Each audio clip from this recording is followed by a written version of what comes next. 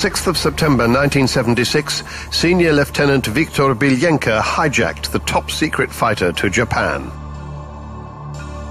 He flew the MiG-25 from the Russian Far East Aerodrome at Chuguyevka to Hakodate Civil Airport in Japan. Along with the aircraft, the Japanese got access to the top-secret Soviet IFF codes, that's identification friend or foe, and other Soviet military secrets. At first we thought some sort of accident had happened to the MiG-25. It never occurred to us that it could have been hijacked. But we soon realized it was a case of treachery.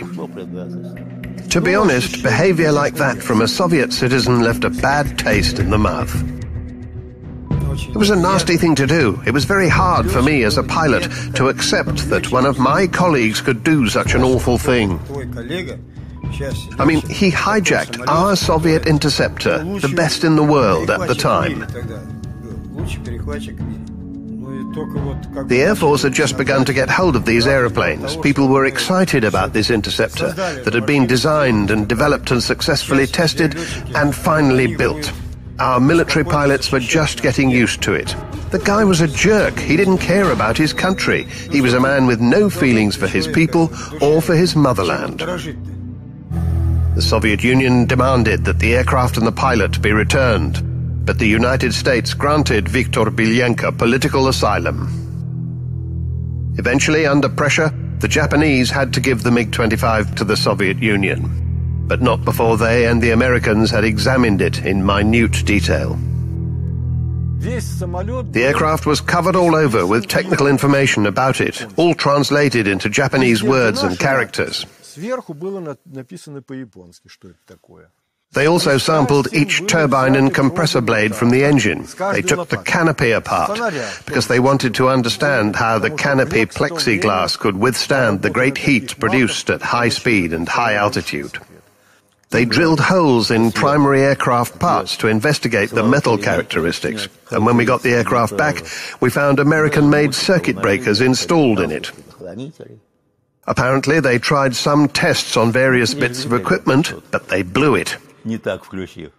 We still don't know why Viktor Belenko hijacked the aircraft. Was it a setup by American intelligence? Or was it just that Belenko wanted a better life abroad? Whatever the reason, it put the defense capacity of the Soviet Union under great stress. That was critical. In the Soviet Union, the hijacking did speed up the further development of the aircraft. Not only that, but the Mikoyan Design Bureau started work on the new MiG-31 interceptor.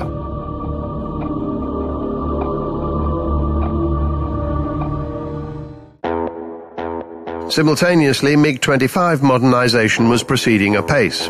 A new version was called MiG-25 PD, PD being the Russian abbreviation for Upgraded Interceptor. Everybody knew that the hijacked MiG-25 had been minutely examined by foreign experts. So the Soviet Union decided on changes to the armament system, the IFF friend or foe codes, and other things. And of course, the current aircraft systems had to be replaced with new ones. It wasn't easy, but what else could we do? First of all, they changed the aircraft detection system. The new Sapphire 25 airborne interception radar was installed. It could detect low-level airborne targets. That had become necessary with changing threats. It had previously been the case that bombers would fly as high as possible to avoid an enemy's air defense systems. As anti-aircraft missiles developed, that had to change. The bombers began to fly low. Now attacking aircraft became very hard to track, either with ground or airborne radars. Earlier MiG-25s couldn't detect a target flying less than 500 meters above ground because of the ground reflection effect. The MiG-25 PD radar could detect a target flying at only 50 meters above the ground. The maximum target range also improved. The PD could hit a target flying as high as 30,000 meters. That was a 3,000 meter improvement on its predecessor's capability. The new detection system now included infrared sensors. An airborne target could now be detected without emitting radar signals. Detection range was shorter with infrared, but the pilot could avoid illuminating his target with radar and thus alerting it. The R-40 missiles were improved and the R-60 short-range missiles were added to the aircraft armament system. Actually, this upgrade was like a whole new life for the aircraft. It was a big improvement. All the armament was changed, new radars were installed, and the overall aircraft performance increased significantly. About 150 MiG-25 PDs were built, and in fact, all the previous MiG-25 interceptors were also upgraded. They were called MiG-25 PDS, the S meaning upgraded in service. There was another upgrade version, and that was called MiG-25BM. It was a specially developed anti-radar version. About 40 of them were built.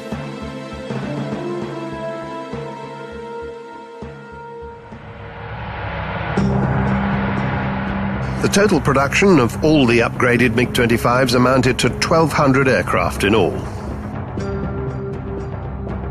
I would say the MiG-25 was essential for the Soviet Union, but also for world aviation. It was absolutely an achievement with great aerodynamics and a superb power plant, very advanced for its time. The new approach had required so many problems to be solved by the designers and engineers. This aircraft really boosted advanced technologies in the Soviet aviation industry. In the 1970s, the Soviet Union was accelerating technologically, particularly in aviation. I think that was an achievement for the whole Soviet people. The MiG-25 was a world great in the history of aviation. It went into service at the peak of the Cold War, and it turned into a symbol of Soviet advanced technology. It set a world altitude record in 1977, and 36 years later, in the second decade of the 21st century, that record holds. Not only that, but the MiG-25 remains the fastest Russian aircraft ever built. You might ask, why didn't they build an even faster aeroplane after the MiG-25? Well, the race for aeronautical speed slowed down significantly when they got to three times the speed of sound. Although there are still a few research bureaux where they're looking at hypersonic speeds, it seems likely that the objective will be just too expensive for manned flight. So the plan changed to concentrating on improving aircraft equipment and armament rather than continuing the competition for speed. And that's where the story of the MiG-31 interceptor begins. During the Cold War, the air defense of the northern and far eastern regions of the Soviet Union was extremely difficult. The severe climate made ground-based radars virtually impracticable. It wasn't even particularly easy to establish the necessary wide network of airfields. Hence the requirement for a long-range interceptor. During the 1960s and 70s, the Tupolev 128 was the only long-range interceptor in the Soviet Union. It was a 1950s design. Neither its equipment nor its armament met the new requirements, to say nothing of its speed and altitude capabilities. The MiG outperformed the Tupolev in many respects, but it was not a long-range interceptor. This was when new attack tactics were coming in, aircraft would fly at very low level to get through the air defenses. Another problem to solve. Cruise missiles were yet another threat. Their low-level terrain following was a new capability at the time. Tracking and destroying these comparatively small flying weapons was extremely hard. So the new interceptor needed very long range, but most of all, it had to be a product of new ideology. The MiG-31 concept derived from the MiG-25 interceptor and all of its operational experience. We needed better range and better altitude than the MiG-25 offered. We especially needed an aircraft that was faster at low level. Also, we were looking for new radar and new missiles. The missiles had to be extra long range. It was common knowledge that the MiG-25 could track only one target at a time, one by one, as we say. The new interceptor had to have multiple target tracking.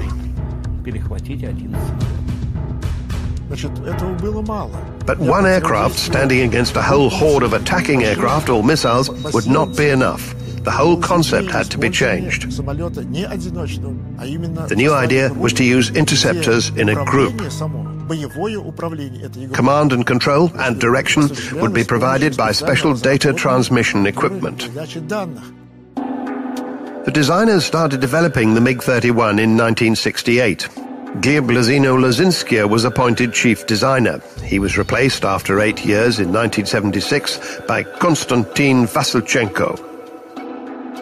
The MiG-31 project was known in the factory as E155MP. That harked back to the MiG-25's factory code E155. In Russian, those letters MP stand for Multi-Role Interceptor.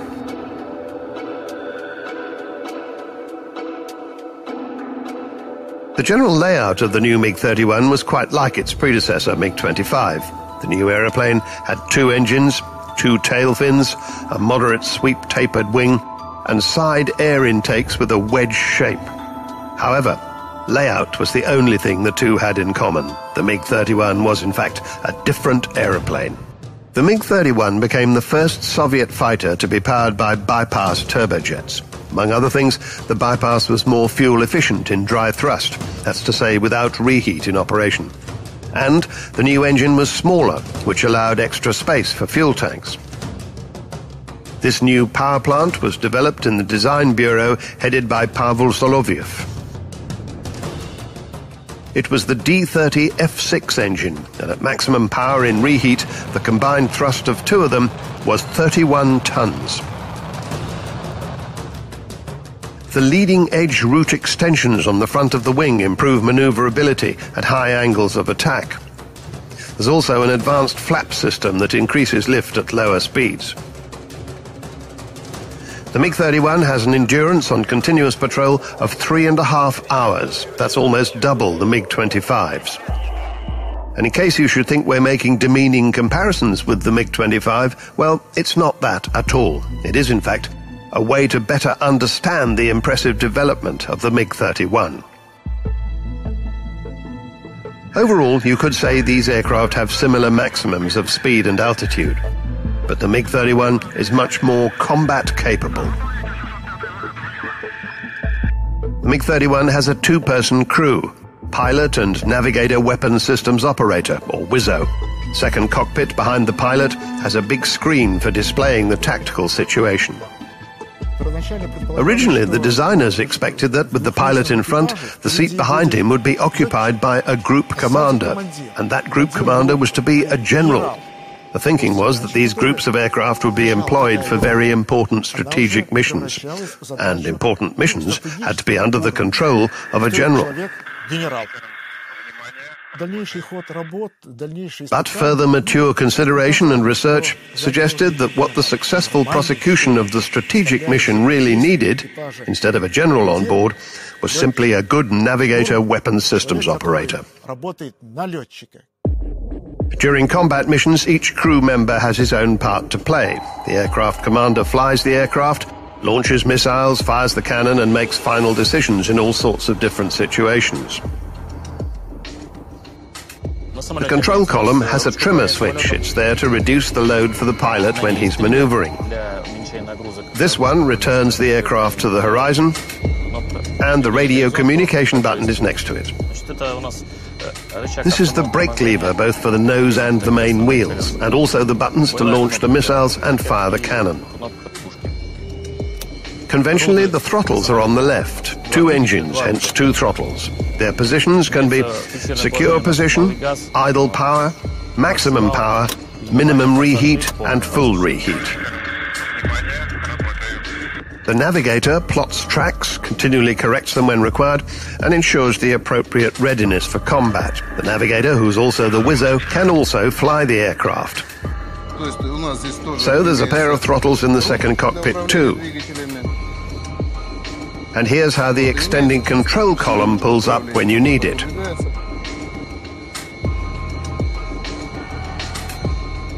The weapons control system of the new fighter was called Zaslon, a barrier in Russian. The core of the system is the radar with a phased antenna array. This system was designed in the Tikhomirov Scientific Research Institute for Instrument Design. Earlier generations of radar had mechanical moving antennae. A phased antenna radar scans electronically without the head having to move. Electronic scanning provides a whole picture almost instantaneously. And not only that, but the phased array radar can provide coordinates for several targets at the same time. So the MiG-25 radar could only track one target. The MiG-31 radar can track 10 targets simultaneously. The associated computer helps identify which are the most dangerous. It can detect targets out to 200 kilometers. The Zaslon system was pivotal to the MiG-31's operation. It detected and tracked targets, and it authenticated the weapon's lock-on to targets. As crew commander and pilot, all I had to do was put the marker on the targets in the display, and then choose a maneuver, left, up, right, down, fly this way, that way, anything really. So basically, I just aligned the marks on the display and pushed the button. And that was that. The MiG-31 is the first interceptor capable of attacking several targets at once, including cruise missiles flying at low level. Four missiles can be launched in one attack against four different targets. I was on a training sortie. I knew there were four airborne targets somewhere up ahead, had to shoot at them. I'm just sitting there looking around, nothing much to do. I think to myself, well, there's that Wizzo behind me. He's the guy who's supposed to find the targets. I'll just hang loose till then. So I say to him, how you doing, mate? How's the work going? He says, what work? I'm asleep. Asleep? You've got to be joking. So who's doing the work? He says, the Zaslon's doing it. It's in automatic. So I relax a bit. Soon the first target pops up on my display. I put the mark on it and launch a missile. A few seconds later, there's the second. Another missile. Bang! Both targets hit within seconds. Then the third and the fourth come up. In just 10 seconds, I've launched four missiles. Four targets hit. The navigator says, OK, boss, mission complete. Targets destroyed. We're off home. The MiG-31 became the first fighter in the world with such a phased array radar. It remained ahead for quite a while because Western fighters didn't catch up till nearly two decades later. This fighter can also do its stuff in standalone mode, that's to say without help from ground radars. The encrypted data transmission system on the aircraft is said to be jam-proof. It allows several fighters to transmit the air situation to each other and to ground facilities as well. A group of four aircraft can scan an airborne area up to 900 kilometers wide. The Zaslon system in the lead aircraft interacts with the systems in the other aircraft.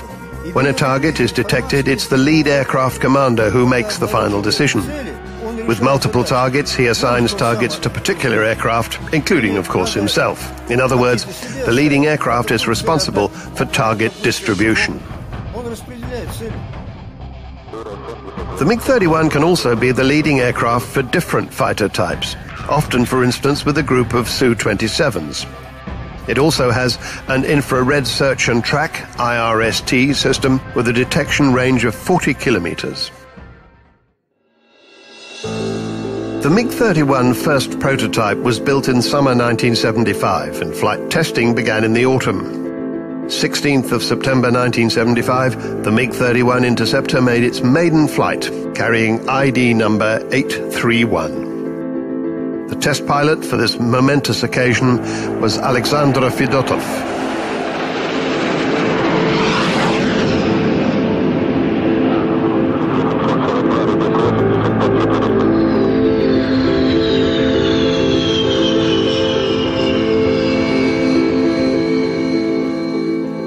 of this maiden flight, Alexander Fedotov was already a distinguished test pilot of the USSR and a hero of the Soviet Union. He'd been working for the Mikoyan Design Bureau as chief pilot for 22 years.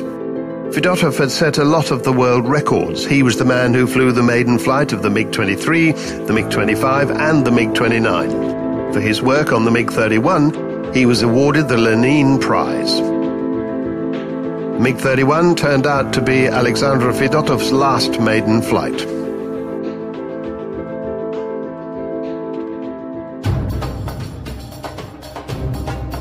On the 4th of April 1984, Fedotov and test navigator weapon systems operator Valery Zaitsev were flying the interceptor.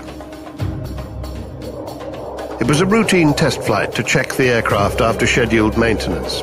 Few minutes after takeoff, a warning came on indicating they were running very low on fuel. Fedotov decided to abort the flight and turned back towards the aerodrome.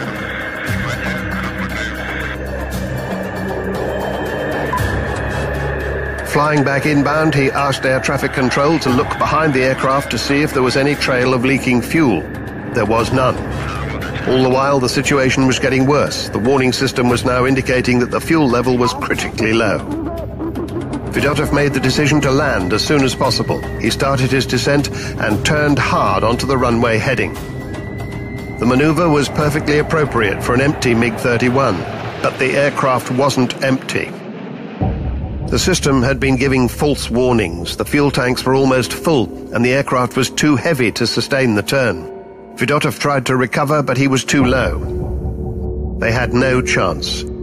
Alexander Fedotov and Valery Zaitsev both died. The warning system played a dirty trick on them. Had it been a failure of the transducer so that all the lights lit up at the same time, Fedotov would have realized that there wasn't a leak and the tanks weren't empty. But the warnings came on progressively, one by one, just as if the tanks were actually emptying. His speed and height on approach were a bit higher than you'd want for a normal landing, so he decided to make a hard turn to significantly reduce his speed. He thought that the aircraft had lost at least 10 tons of fuel, but it hadn't. It was too heavy, and it flicked. Such was the fate of the men. One moment they were alive, they could still speak, they were still thinking. But nothing could be done to save them. Even if they'd ejected from the aircraft, they would not have been high enough.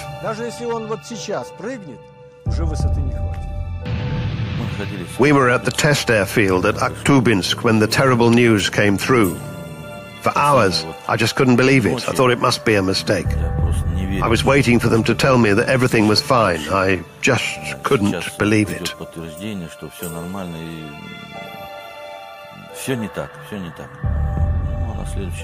Well, the next day we were ferrying two MiG-25s over there. As we turned on finals for the runway, I saw where Fedotov had crashed. It was only then that I finally realized he was really gone. You might say that the sky always takes the best men. With Fedotov, many people say that God took him away. God always takes the best.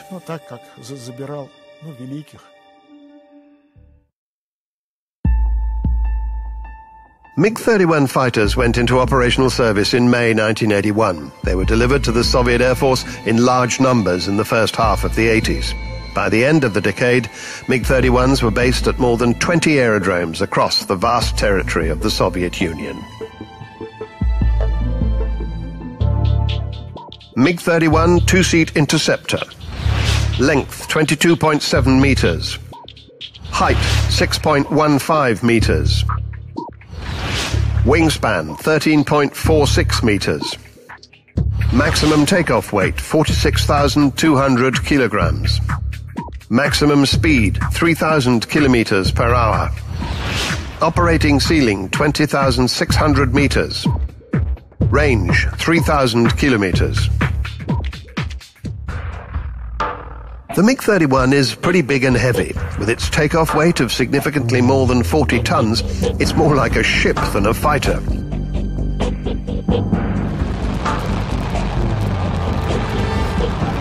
The MiG-31 replaced a number of older interceptor fighters with lesser combat capabilities.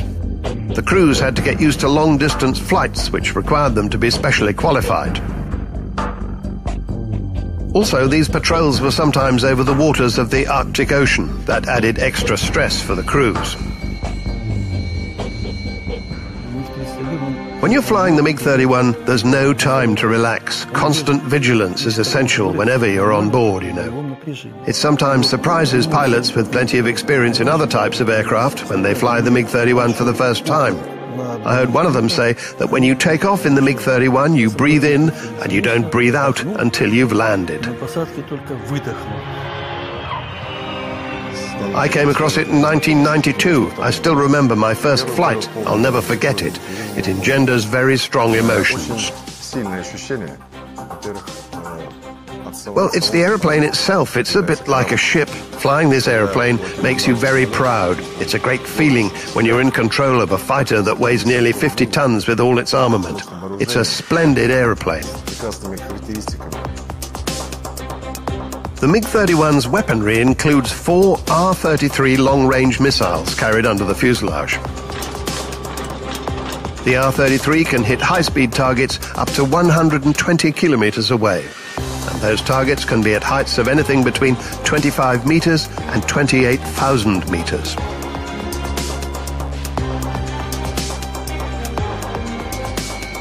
The MiG-31 also carries up to four R-60 short-range missiles or two R-40 medium-range missiles on the underwing pylons.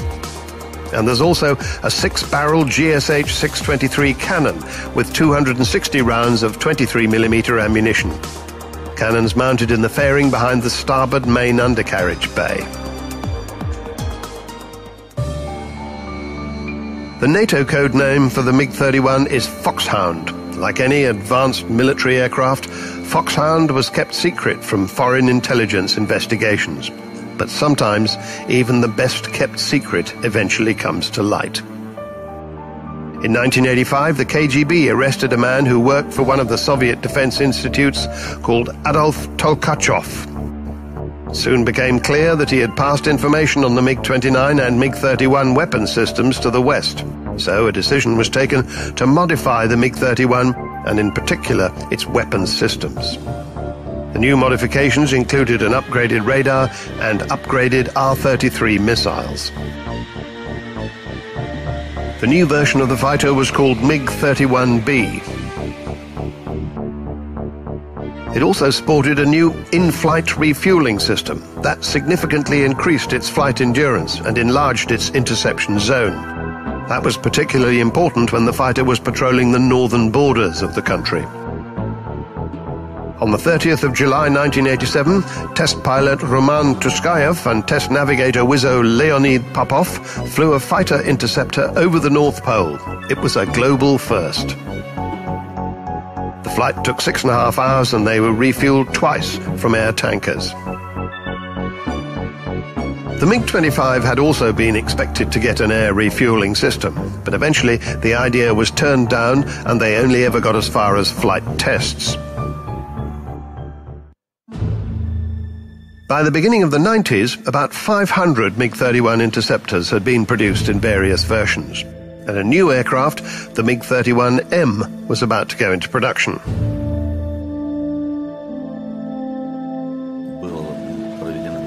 The cockpits and the computerized flight systems had been upgraded. It carried more fuel.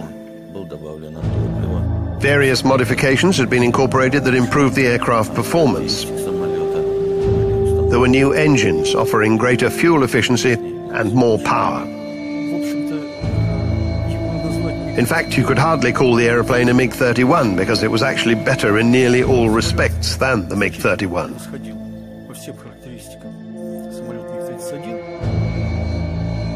The Zaslon M weapons control system could track 24 targets and attack six of them simultaneously.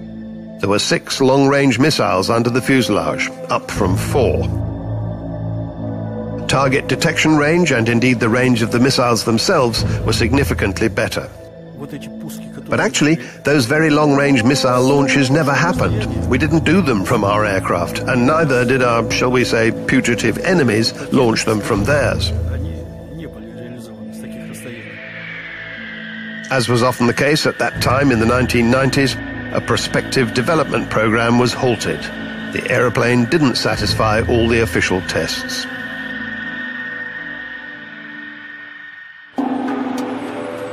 The technological experience of developing the M version proved useful in the further development of existing MiG-31s. Of course, they weren't as capable overall as the full M version, but it was at least a step forward. The first upgraded aircraft, now called MiG-31BM, went into Air Force service in 2008. Keeping up with worldwide fashion, both cockpits now boasted multifunction displays. A satellite navigation system was fitted. Number of weapons hard points under the wing was increased from two to four. The aeroplane's combat efficiency was boosted by almost four times for some operational capabilities. This is Savasleika Air Base. It's in the Nizhny Novgorod region where most of the MiG-31 interceptors are stationed. The maintenance squadron is here, where the aircraft get periodic checks and regular planned maintenance. It's here that all the various systems and bits of the aircraft can be checked, engines can be replaced, snags can be fixed. One of the unusual features of the MiG-31 is the strange undercarriage design. The aircraft was heavy enough to need a four-wheeled main undercarriage. This layout reduces the load on runway surfaces and actually makes it possible to operate the aircraft on ice airfields. The MiG-31 flight simulator is used for training and the continuing improvement of flight skills. For instance, it trains crews in reacting to in-flight emergencies. During this pre-flight briefing, the Air Force unit commander assigns crews to different missions and receives readiness reports. The crews are briefed on weather conditions and forecasts, diversion airfields, and many other details of the planned flights. Выполнение полетов на технико-пилотируемом составе пары. They do a run-through of the flight before they even get to their aeroplanes.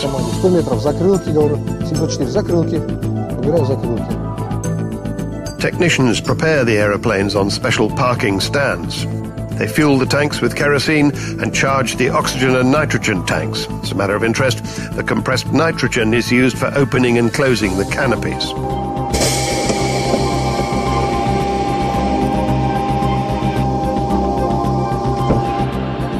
Before they climb in, the crews do a walk-round visual inspection.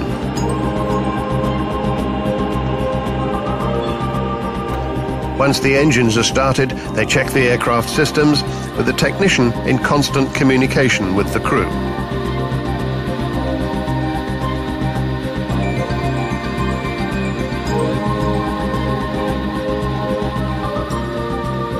Taxi to the runway.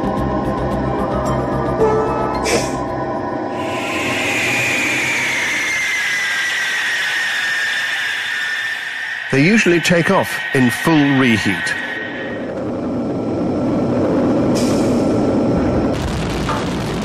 These days, the MiG-31 is a most powerful interceptor aircraft, comparable in many respects to the American fifth-generation fighter, the F-22.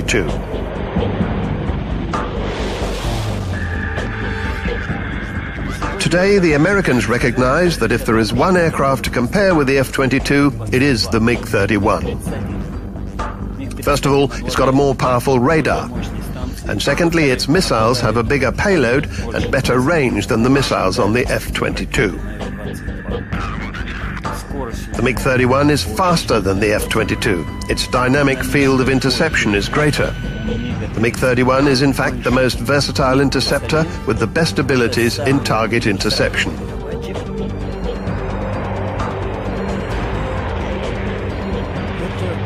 This is an extremely powerful weapons system.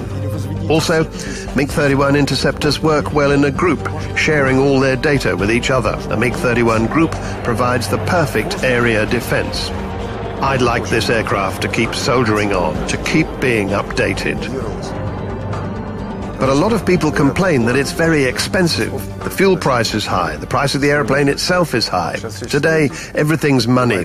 But you have to realize if you want a good thing, you have to pay good money. Because this airplane fulfills the missions that other aircraft can't manage. Pay the proper attention to it, and then the MiG-31 will live long.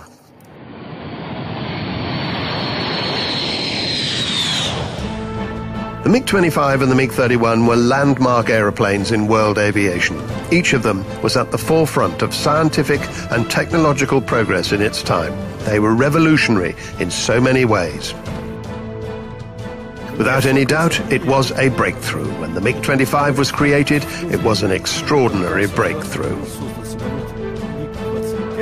We achieved those speeds, those heights. It was a really powerful breakthrough. And from that base, we created the amazing MiG-31. Speed and everything else were kept the same, but we definitely improved the combat capabilities. This is an aircraft of the highest performance. All of this MiG-25 and MiG-31 family of aeroplanes have very high potential. It's a good, long-term platform for fulfilling different tasks. All of these new features of the MiG-31 have such great potential that it is too early to predict where it'll all end. The potential is nowhere near exhausted yet.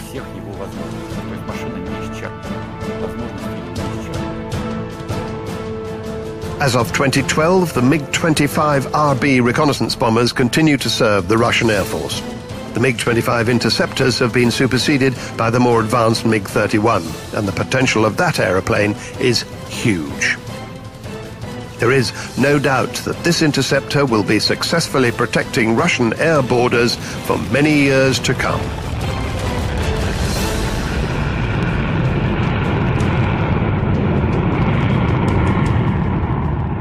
An infrared search and track IRST system with a detection range of 40 kilometers. The MiG-31 first prototype was built in summer 1975 and flight testing began in the autumn. 16th of September 1975, the MiG-31 Interceptor made its maiden flight, carrying ID number 831. The test pilot for this momentous occasion was Alexander Fedotov,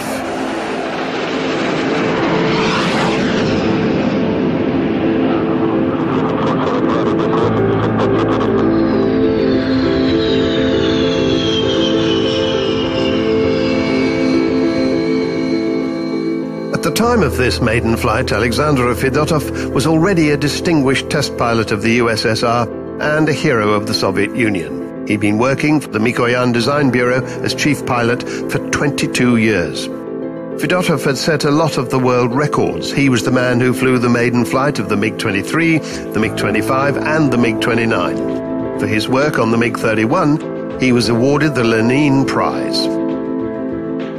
MiG-31 turned out to be Alexander Fedotov's last maiden flight.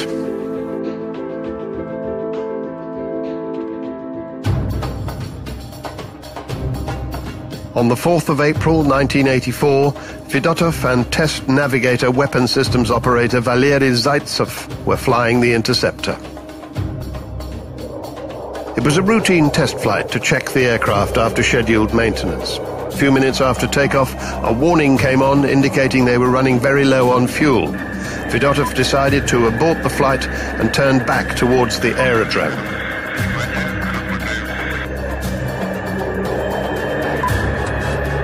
Flying back inbound, he asked air traffic control to look behind the aircraft to see if there was any trail of leaking fuel. There was none.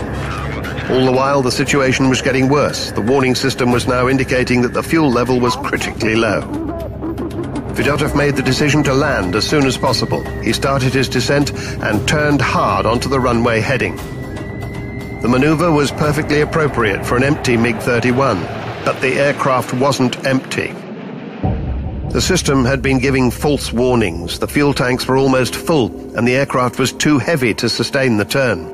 Fedotov tried to recover, but he was too low. They had no chance. Alexander Fedotov and Valery Zaitsev both died. The warning system played a dirty trick on them. Had it been a failure of the transducer so that all the lights lit up at the same time, Fedotov would have realized that there wasn't a leak and the tanks weren't empty.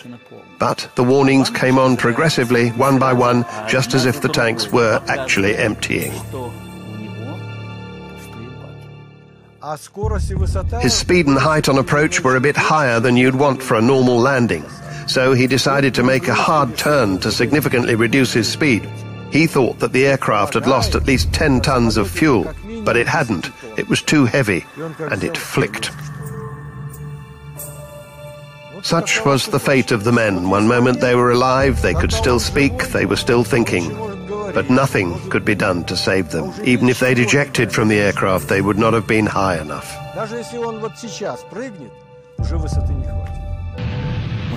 We were at the test airfield at Akhtubinsk when the terrible news came through.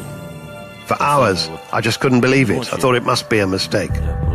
I was waiting for them to tell me that everything was fine. I just couldn't believe it.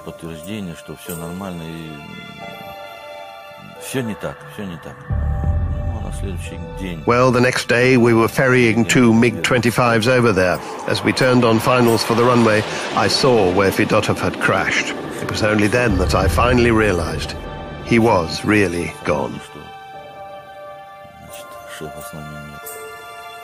You might say that the sky always takes the best men. With Fedotov, many people say that God took him away. God always takes the best.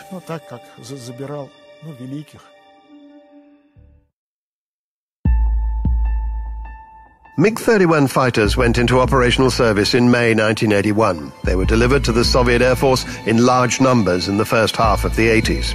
By the end of the decade, MiG-31s were based at more than 20 aerodromes across the vast territory of the Soviet Union. MiG-31 two-seat interceptor. Length 22.7 meters. Height 6.15 meters. Wingspan 13.46 meters. Maximum takeoff weight 46,200 kilograms. Maximum speed 3,000 kilometers per hour. Operating ceiling 20,600 meters. Range 3,000 kilometers. The MiG-31 is pretty big and heavy. With its takeoff weight of significantly more than 40 tons, it's more like a ship than a fighter.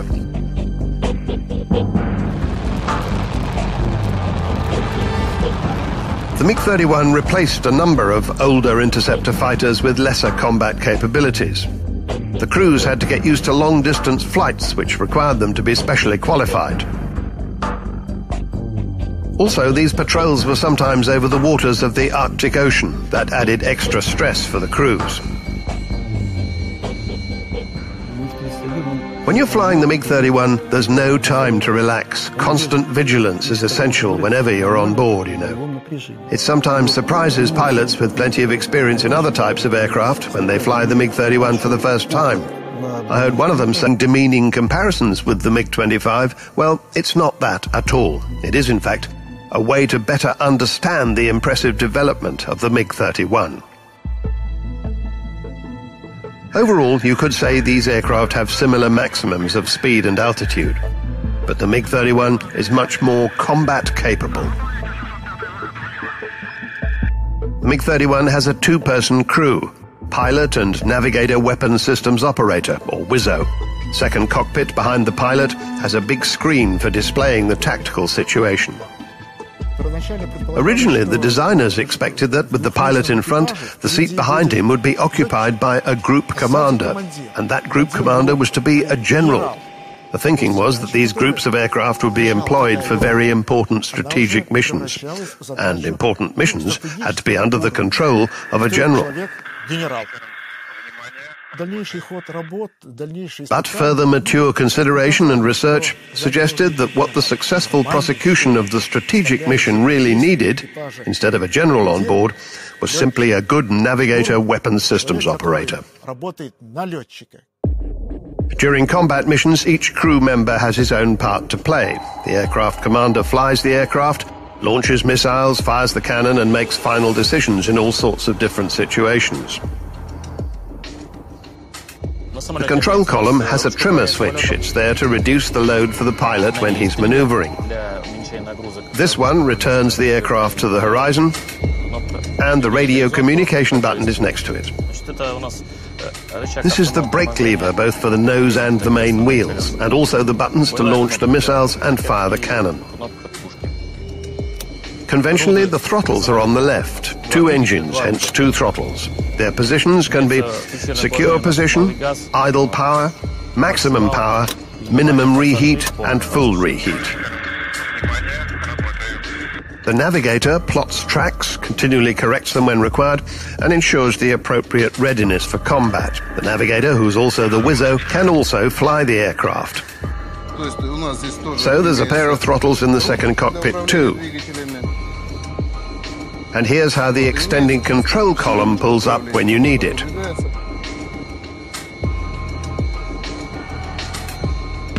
The weapons control system of the new fighter was called Zaslon, a barrier in Russian. The core of the system is the radar with a phased antenna array. This system was designed in the Tikhomirov Scientific Research Institute for Instrument Design. Earlier generations of radar had mechanical moving antennae, a phased antenna radar scans electronically without the head having to move.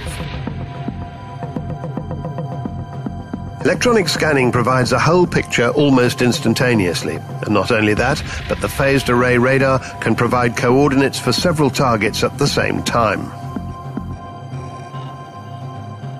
So the MiG-25 radar could only track one target. The MiG-31 radar can track 10 targets simultaneously. The associated computer helps identify which are the most dangerous. It can detect targets out to 200 kilometers. The Zaslon system was pivotal to the MiG-31's operation. It detected and tracked targets, and it authenticated the weapon's lock-on to targets. As crew commander and pilot, all I had to do was put the marker on the targets in the display, and then choose a maneuver, left, up, right, down, fly this way, that way, anything really. So basically, I just aligned the marks on the display and pushed the button. And that was that. The MiG-31 is the first interceptor capable of attacking several targets at once, including cruise missiles flying at low level. Four missiles can be launched in one attack against four different targets. I was on a training sortie. I knew there were four airborne targets somewhere up ahead, had to shoot at them. I'm just sitting there looking around, nothing much to do. I think to myself, well, there's that WISO behind me. He's the guy who's supposed to find the targets. I'll just hang loose till then.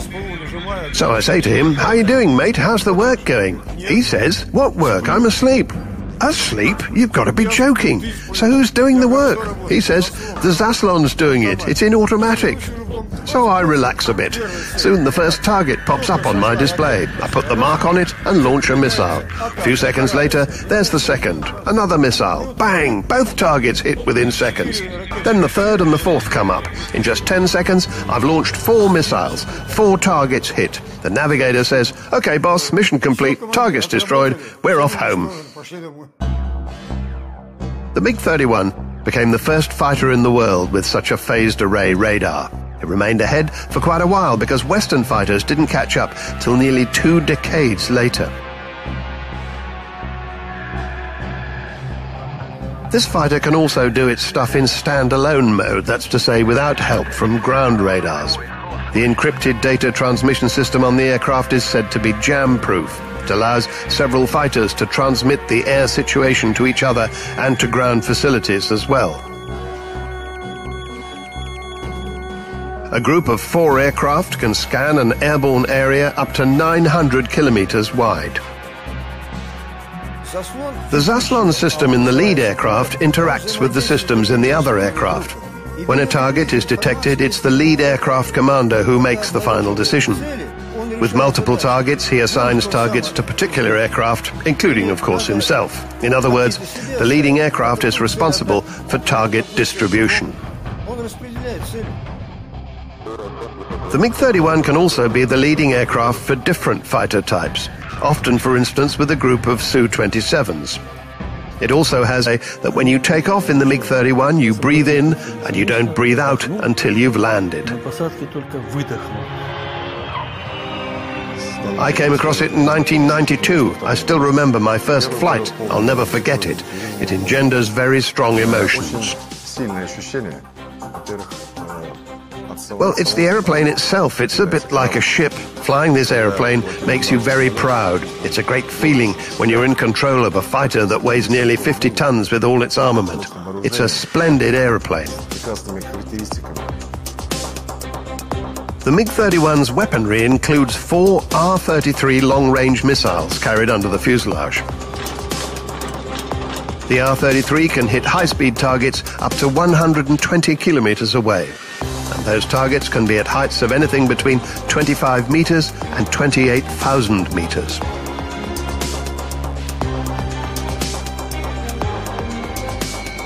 The MiG-31 also carries up to four R-60 short-range missiles or two R-40 medium-range missiles on the underwing pylons. And there's also a six-barrel GSH 623 cannon with 260 rounds of 23mm ammunition. Cannons mounted in the fairing behind the starboard main undercarriage bay.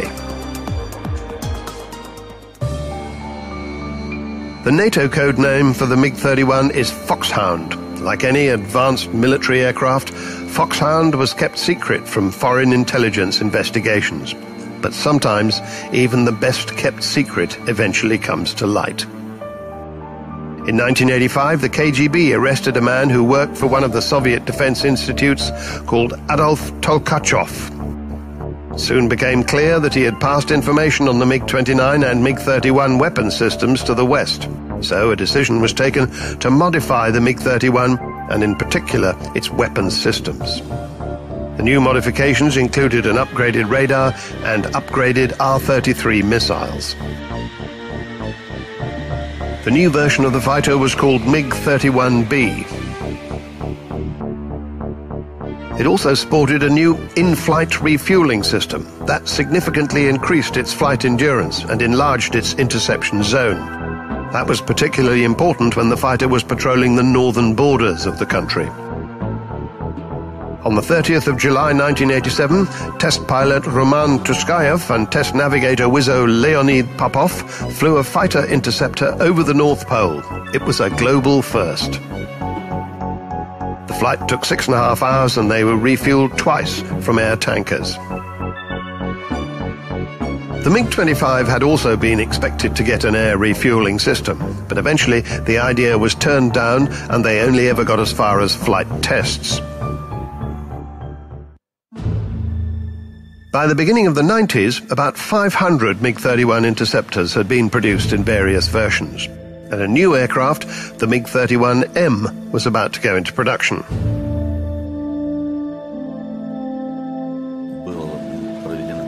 The cockpits and the computerized flight systems had been upgraded. It carried more fuel. Various modifications had been incorporated that improved the aircraft performance. There were new engines offering greater fuel efficiency and more power. In fact, you could hardly call the aeroplane a MiG-31 because it was actually better in nearly all respects than the MiG-31.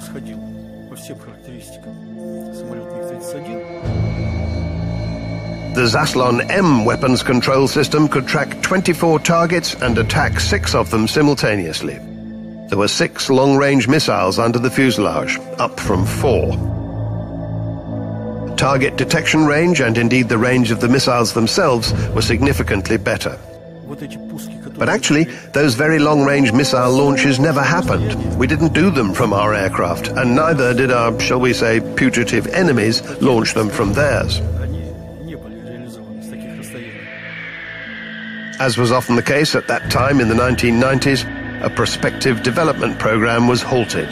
The aeroplane didn't satisfy all the official tests.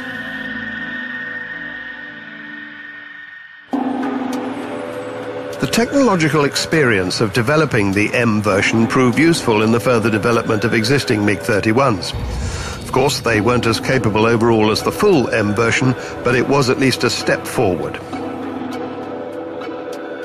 The first upgraded aircraft, now called MiG-31BM, went into Air Force service in 2008.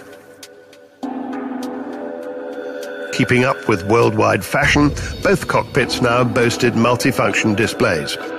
A satellite navigation system was fitted. Number of weapons hard points under the wing was increased from two to four.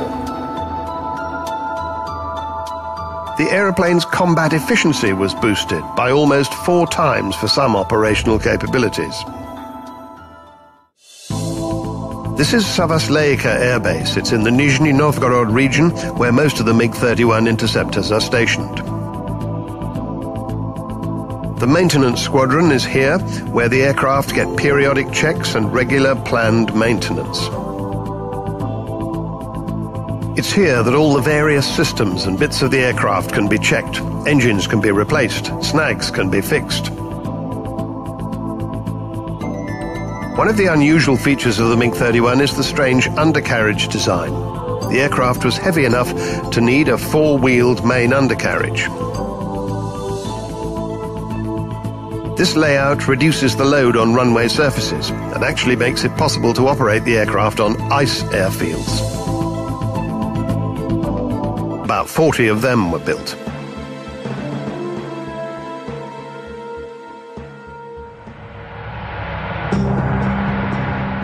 The total production of all the upgraded MiG-25s amounted to 1,200 aircraft in all. I would say the MiG-25 was essential for the Soviet Union, but also for world aviation. It was absolutely an achievement, with great aerodynamics and a superb power plant, very advanced for its time. The new approach had required so many problems to be solved by the designers and engineers. This aircraft really boosted advanced technologies in the Soviet aviation industry. In the 1970s, the Soviet Union was accelerating technologically, particularly in aviation. I think that was an achievement for the whole Soviet people. The MiG-25 was a world great in the history of aviation. It went into service at the peak of the Cold War, and it turned into a symbol of Soviet advanced technology. It set a world altitude record in 1977, and 36 years later, in the second decade of the 21st century, that record holds. Not only that, but the MiG-25 remains the fastest Russian aircraft ever built. You might ask, why didn't they build an even faster aeroplane after the MiG-25? Well, the race for aeronautical speed slowed down significantly when they got to three times the speed of sound. Although there are still a few research bureaux where they're looking at hypersonic speeds, it seems likely that the objective will be just too expensive for manned flight. So the plan changed to concentrating on improving aircraft equipment and armament rather than continuing the competition for speed. And that's where the story of the MiG-31 interceptor begins. During the Cold War, the air defense of the northern and far eastern regions of the Soviet Union was extremely difficult. The severe climate made ground-based radars virtually impracticable. It wasn't even particularly easy to establish the necessary wide network of airfields. Hence the requirement for a long-range interceptor. During the 1960s and 70s, the Tupolev 128 was the only long-range interceptor in the Soviet Union. It was a 1950s design. Neither its equipment nor its armament met the new requirements, to say nothing of its speed and altitude capabilities. The MiG outperformed the Tupolev in many respects, but it was not a long-range interceptor. This was when new attack tactics were coming in, aircraft would fly at very low level to get through the air defenses. Another problem to solve.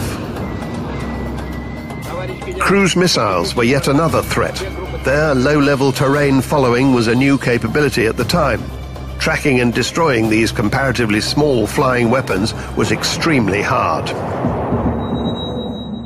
So the new interceptor needed very long range, but most of all, it had to be a product of new ideology. The MiG-31 concept derived from the MiG-25 interceptor and all of its operational experience. We needed better range and better altitude than the MiG-25 offered. We specially needed an aircraft that was faster at low level. Also, we were looking for new radar and new missiles. The missiles had to be extra long range. It was common knowledge that the MiG-25 could track only one target at a time, one by one, as we say. The new interceptor had to have multiple target tracking. But one aircraft standing against a whole horde of attacking aircraft or missiles would not be enough. The whole concept had to be changed. The new idea was to use interceptors in a group. Command and control and direction would be provided by special data transmission equipment. The designers started developing the MiG-31 in 1968. Gleb Lozino Lozinsky was appointed chief designer. He was replaced after eight years in 1976 by Konstantin Vasilchenko. The MiG-31 project was known in the factory as E155MP that harked back to the MiG-25's factory code E155. In Russian, those letters MP stand for Multi-Role Interceptor.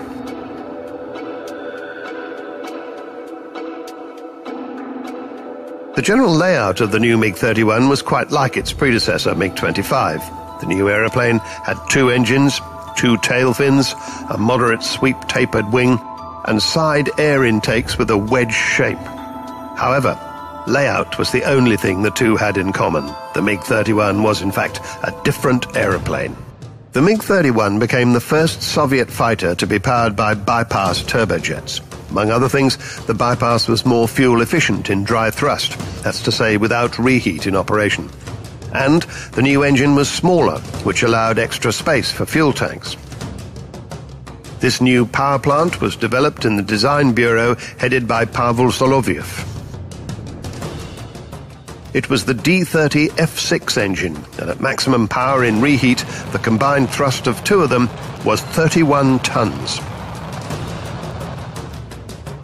The leading edge root extensions on the front of the wing improve maneuverability at high angles of attack. There's also an advanced flap system that increases lift at lower speeds. The MiG-31 has an endurance on continuous patrol of three and a half hours. That's almost double the MiG-25's. And in case you should think we're making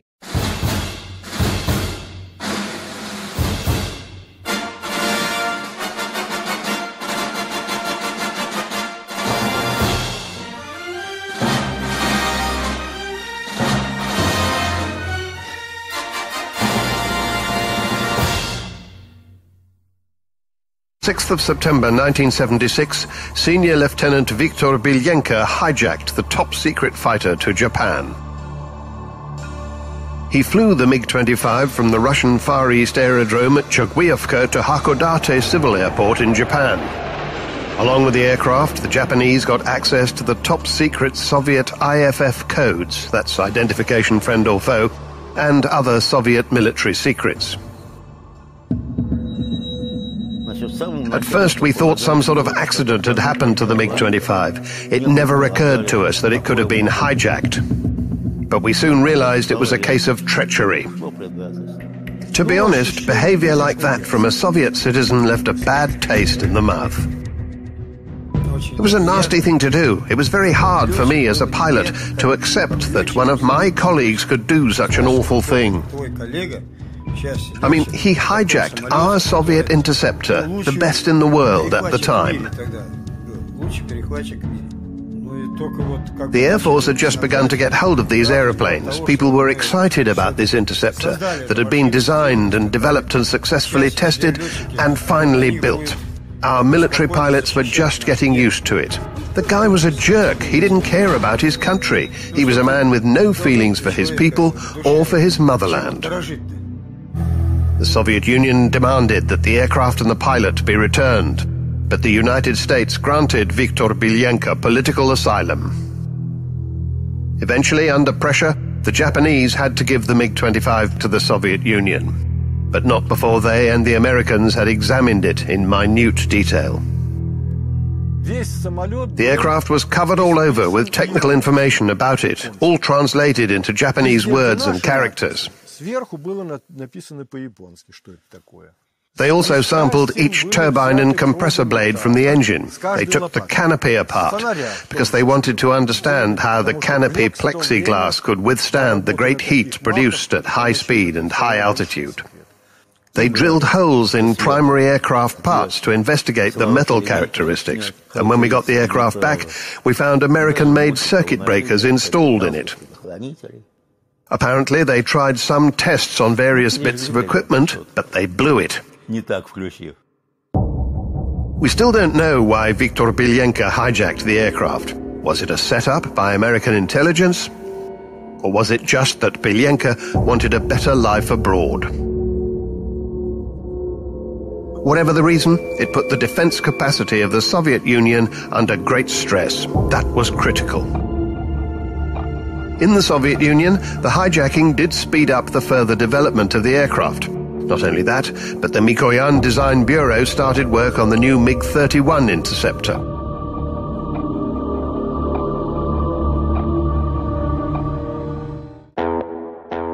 Simultaneously, MiG-25 modernization was proceeding apace. A new version was called MiG-25 PD, PD being the Russian abbreviation for Upgraded Interceptor. Everybody knew that the hijacked MiG-25 had been minutely examined by foreign experts. So the Soviet Union decided on changes to the armament system, the IFF friend or foe codes, and other things. And of course, the current aircraft systems had to be replaced with new ones. It wasn't easy, but what else could we do? First of all, they changed the aircraft detection system. The new Sapfir 25 airborne interception radar was installed. It could detect low-level airborne targets. That had become necessary with changing threats. It had previously been the case that bombers would fly as high as possible to avoid an enemy's air defense systems. As anti-aircraft missiles developed, that had to change. The bombers began to fly low. Now attacking aircraft became very hard to track, either with ground or airborne radars. Earlier MiG-25s couldn't detect a target flying less than 500 meters above ground because of the ground reflection effect. The MiG-25 PD radar could detect a target flying at only 50 meters above the ground. The maximum target range also improved. The PD could hit a target flying as high as 30,000 meters. That was a 3,000 meter improvement on its predecessor's capability. The new detection system now included infrared sensors. An airborne target could now be detected without emitting radar signals. Detection range was shorter with infrared, but the pilot could avoid illuminating his target with radar and thus alerting it. The R-40 missiles were improved and the R-60 short-range missiles were added to the aircraft armament system. Actually, this upgrade was like a whole new life for the aircraft. It was a big improvement. All the armament was changed, new radars were installed, and the overall aircraft performance increased significantly. About 150 MiG-25 PDs were built, and in fact, all the previous MiG-25 interceptors were also upgraded. They were called MiG-25 PDS, the S meaning upgraded in service. There was another upgrade version, and that was called MiG-25BM. It was a specially developed anti-radar version.